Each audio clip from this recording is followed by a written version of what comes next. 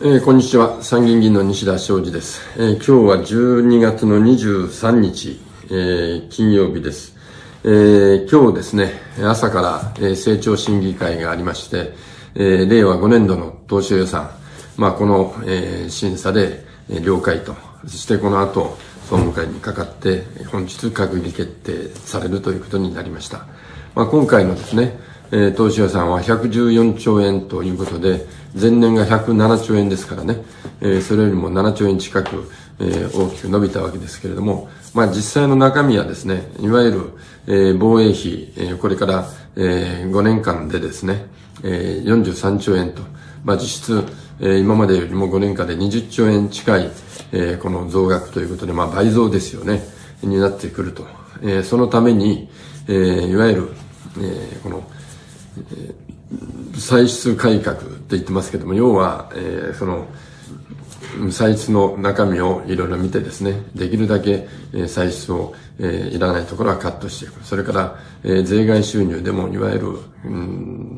この外為特会ですね、そういうところから入ってきた、えー、余余ってるお金、えー、他の会計で余ってるお金をもらってきて、えー、それをですね、えー、まあ、新しい法律を作ることによって、えー、次の防衛予算のための、えー、まあ、基金的なもので、ね、えー、繰り入れすると。まあ、そういう出会いがありましてね。まあ、それが3兆、4兆ぐらいあるんですかね。ですから、えー、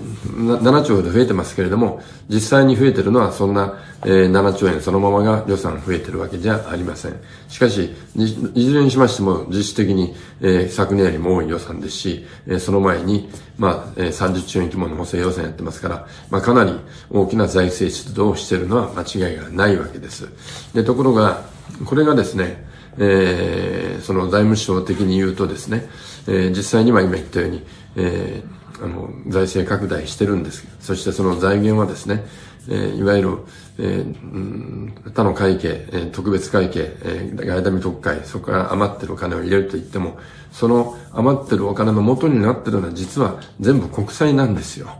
ですから、えー、国債で要するに、えー、防衛予算、えー、増大分へ賄っていくということなんですが、そういう話を彼らはしたくないんですね。で、財務省は、そういう話をしたくなくて、えー、これは、えー、税でやらなきゃならない。という話になってですね。まあそういうことを無理くり、えー、彼らの立場でやろうとするから、えー、国民に対する、国民に対してですね、えー、この、いらない、え、不満と不安が出てくるわけです。その一つが、えー、このいわゆる防衛増税だという形で言ってますけれどもね。で、これは、えー、防衛費があの20兆円5年間で伸びるのにですね、えー、1兆円の、えー、この、まあ、法人税中心に上げると言ってもですね、5年でその分は5兆円ですからね、とても遠く及ばないわけですよ。もちろん自然税、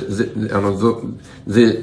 税収増っていうのもありますけれどもね、えー、要するに、その足らずまいは間違いなく国債でやってるわけです。そしてその国債でやってるということの一番典型がですね、えー、今回、えー、この、防衛増税の中で触れられた、いわゆる、復興税なんですね。で、復興税を下げて、下げた分、今度は、えー、所得税を増やすというね、あの、どうでもいい話なんですよ、これ。どうでもいい話なんですけども、それで、えー、この防衛予算のための税を、えー、それで、あの、2000億近く取ったという話にして、皆さん方から負担してもらってるんです。税で防衛費は、えー、やってるんですという絵にしようと無理やりしてるわけですけれども、あたかもそこで、えー、この復興の、えー、中身が見えてきたんですね。つまり、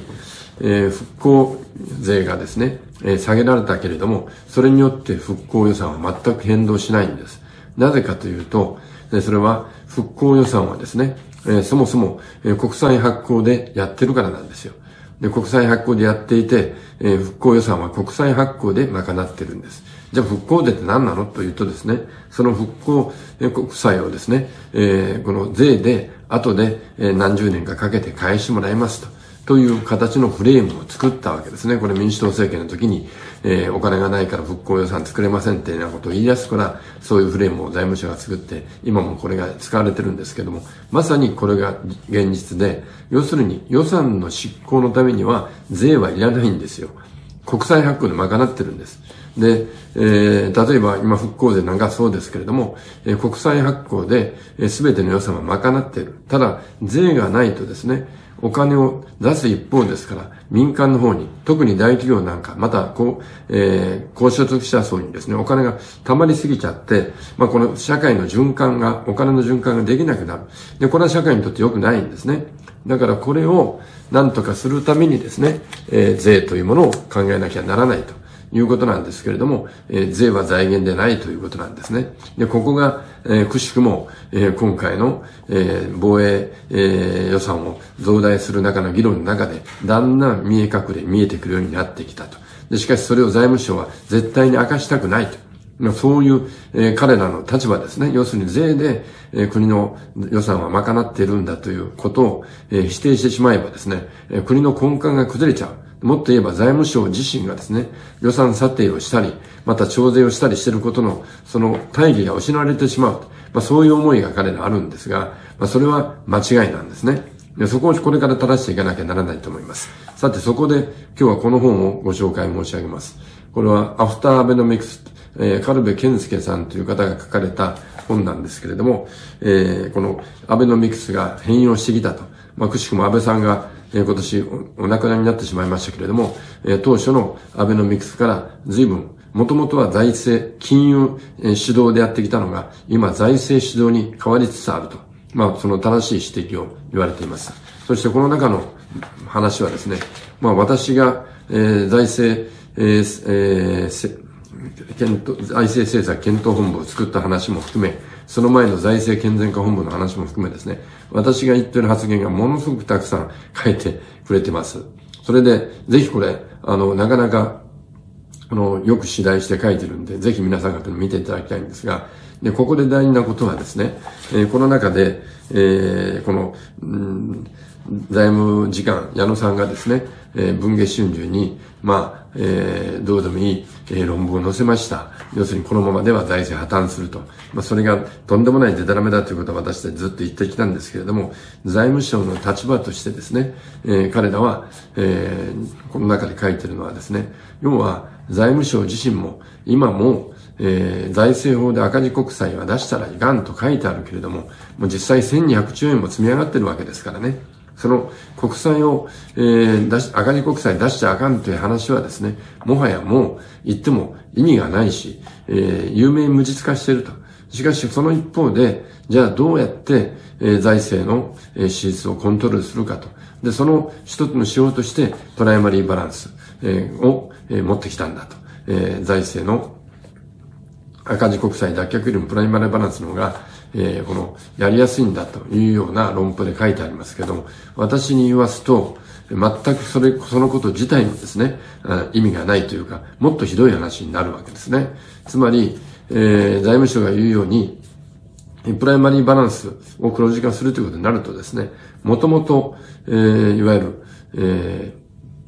ー、財政法で言ってるのは、国債でも、えー、いわゆる建設国債、えこれについては全く何も触れてないわけですよね。ダメだと言ってるのは赤字国債。えーえ、政策的な経費に使うのはダメだと。こういう話で、その裏にあったのは、え、かつての戦争が、え、国債発行で行われたと。で、当時の、えー、新中軍 GHQ はですね、絶対に日本に軍事力をつけさせないために、この財政法を作ったということが今もはっきり分かっているわけでありますけれども、それを今なおですね、えー、使って、えー、財政の自由度を自ら制限を加えようとしている財務省、え、その財務省の姿勢によってですね、今一番大事なデフレ脱却や、え、コロナ、それから安全保障問題、え、これを解決することができなくなっていたんですが、えー、くしくも、え岸田さんの内閣ではですね、えその、えそれらの対策のために赤字国債をバンバン出してやっていってるわけですよ。